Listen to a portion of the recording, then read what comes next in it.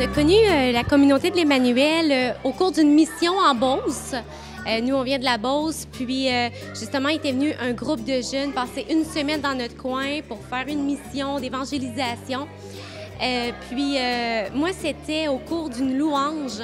En fait, j'ai vraiment vécu une grâce de l'effusion de l'Esprit. Puis à partir de ce temps-là, euh, pour moi, euh, la communauté, en fait, on l'a reconnu comme, comme une, une, autre famille.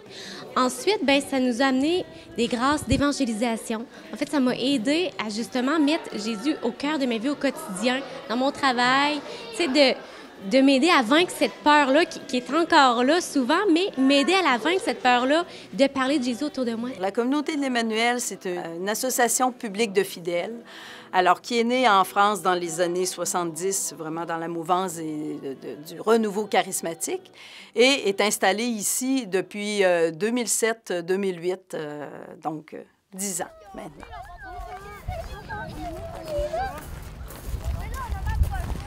C'est le service enfant, la mission enfant. Donc, euh, pendant que les adultes ont un enseignement ou font d'autres activités, ben, on est plusieurs à, se relayer auprès des enfants. Puis, on a différentes activités. C'est le temps libre au parc.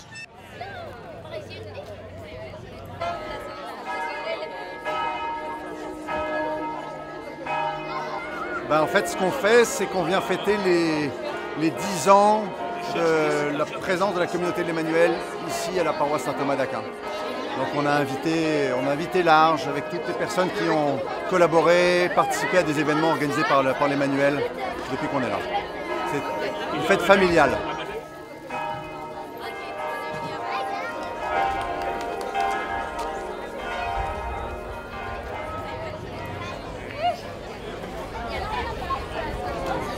Quand on a la joie de connaître le Seigneur, quand on a la joie d'en vivre, enfin en tout cas d'essayer d'en vivre, on a aussi le goût de, partager ça aux autres et puis ça s'exprime entre autres à travers le service.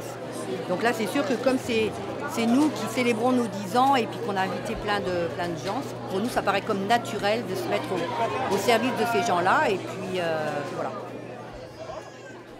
Eh bien, c'est le cardinal Ouellet qui, en 2007, nous a invités à s'occuper d'une paroisse qu'il a bien choisie parce qu'il savait que l'Emmanuel avait euh, une expertise dans la, pastorale jeunesse.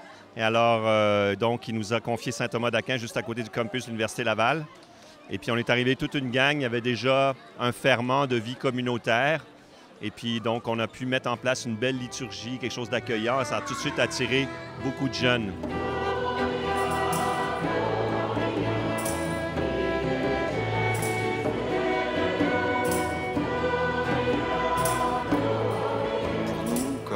La communauté de l'Emmanuel, une paroisse, c'est une mission. Euh, et les frères et sœurs de communauté laïque, euh, avec qui nous, nous, essayons, nous essayons de partager toutes les missions, eh bien, ils, sont paroissiens, comme tout autre paroissien. Ils sont comme ce, petit levain, euh, ce ferment dans toute la dynamique paroissiale pour nous permettre que cette mission ne soit pas une mission de l'Emmanuel, parce que ça reste une paroisse, mais une mission animée par des membres de l'Emmanuel, avec le caractère de chaque paroisse. Chaque paroisse garde son identité euh, spécifique, mais elle a une touche, elle a comme une couleur Emmanuel à travers ses membres euh, qui sont des paroissiens. Alors, la communauté de l'Emmanuel, je crois, sa première, première grande œuvre, ça a été la messe des jeunes, qui a grandi, qui s'est déployé. De, de, ça est né le bistrot du curé, notamment. Hein. On est intimement associé à la vie diocésaine. Hein. Nos, prêtres sont diocésains et les laïcs sont autour des, des prêtres pour, euh, pour qu'ensemble, avec notre, charisme, euh, nous soyons au service euh, des missions diocésaines. On a nos, missions propres aussi, qui sont l'évangélisation, mais avant, on, a vraiment une vie de prière qui nous amène à une vie de compassion et ensuite l'évangélisation naît de cette compassion pour le monde afin de lui présenter l'amour du Christ.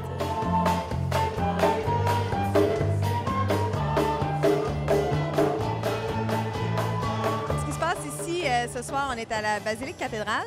Puis on a organisé, dans le fond, c'est notre dernier groupe de prière. Donc depuis septembre à peu près pour euh, toute l'année, on a un groupe de prière une fois par mois qui se tient généralement à Saint-Thomas-d'Aquin. Mais là, pour la dernière, on a réuni euh, toutes les forces ici pour faire une soirée d'évangélisation.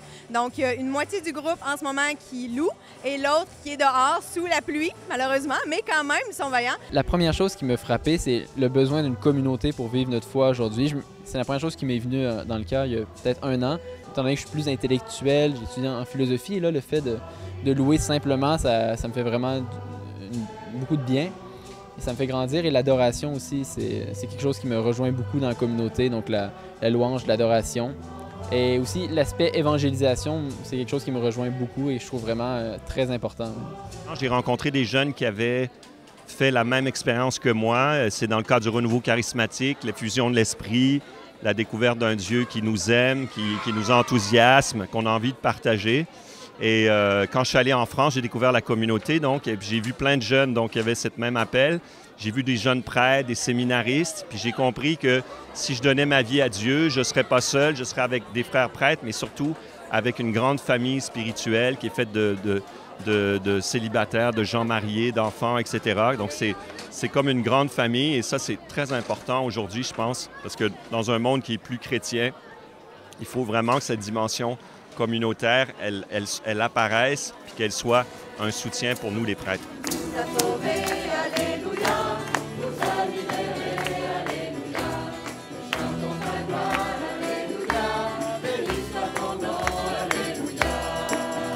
Au niveau communautaire, le premier lieu de vie de la communauté, c'est la maisonnée.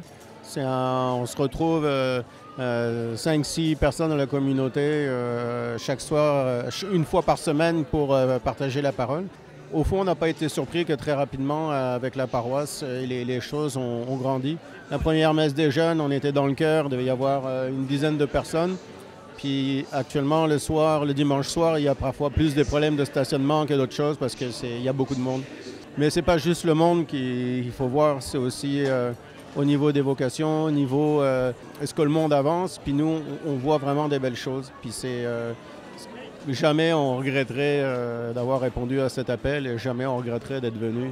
Je pense que c'est aussi bah, les jeunes qui sont, qui sont touchés vont toucher les autres. La beauté de la liturgie aussi, la beauté des chants, là, on voit beaucoup de jeunes qui sont touchés par ça. C'est beau à voir. Nous, c'est vrai qu'on a été responsable des jeunes.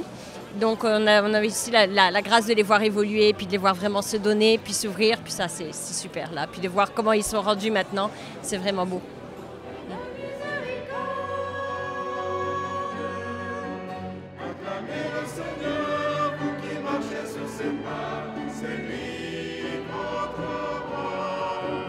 Je cherchais ma vocation. ça faisait un petit bout que je, cherchais, je voulais être prêtre. Euh, mais il y avait beaucoup de défis. Euh, moi-même, je un peu. Euh, je, pense que ma personnalité était à construire et à reconstruire. mais quand j'ai rencontré, j'ai fait un voyage en Europe dans lequel j'ai rencontré la communauté. Et l'une des choses qui m'a frappé assez vite, c'était la joie et en même temps la profondeur. Puis aussi un mélange d'ancien, mais de neuf. Et, et donc, puis aussi les trois piliers de la communauté m'avaient déjà interpellé l'adoration, la compassion, avoir un cœur aimant pour ceux qui souffrent. Puis plus on veut aider les gens qui souffrent, bien, c'est pas ça ce qu'ils ont besoin, c'est Jésus. Et donc, euh, l'évangélisation comme troisième pilier. Mais je sentais que je ne sais pas trop comment faire. Je sais que c'est ça qu'il faut faire, mais comment on fait? Puis de, voir qu'il y avait des, personnes qui avaient un savoir-faire dans ce sens-là m'interpellait. Et puis euh, aussi l'amour du cœur de Jésus.